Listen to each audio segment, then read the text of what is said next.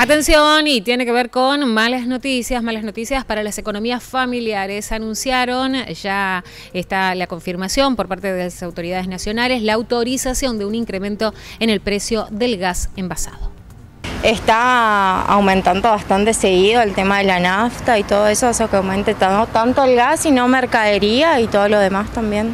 Y dentro de todo no tenemos tan cara las garrafas como en otros lados porque nos compran bastante seguido, pero sí es una cosa de que cambia la semana y cambia los precios de todo y llega la gente y te dice ya hubo aumento y sí, todo aumenta bastante seguido. Y nosotros comercializamos la de 10 solamente, así que supongo que en 200, 300 pesos más va a subir lo que es la garrafa y vamos a ver cuándo nos llega el aumento de la garrafa y de ahí vamos a tratar de buscar el precio tanto para nosotros sea bueno como para los clientes también.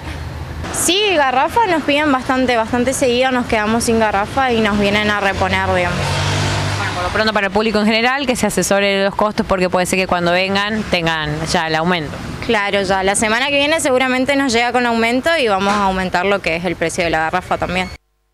Nos encontramos en la planta de gas amarilla porque el aumento no solo es para consumidores, sino también para distribuidores y fraccionadores, como también para quienes están incluidos en el programa Tu Hogar. Hoy en día hay que recalcar que una garrafa de 10 kilos está aproximadamente entre 1.500 y 1.400 pesos, de 15 kilos 2.200 pesos aproximadamente y de 45 kilos 9.500 eh, pesos. El aumento todavía es incierto, los consumidores no, no se sabe, no está todavía detallado cuál va a ser el porcentaje, pero lo que sí es una realidad desde la Secretaría de Gobierno que se dio esta información que el gas aumentaría en los próximos días.